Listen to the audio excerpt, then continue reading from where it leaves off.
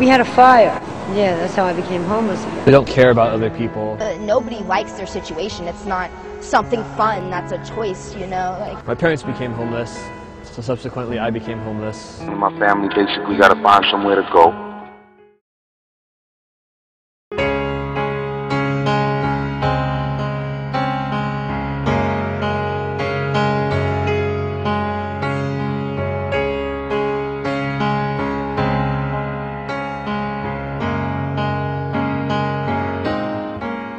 Everything's gonna be alright. Just pray for me and my family, you know? Just pray for us, alright?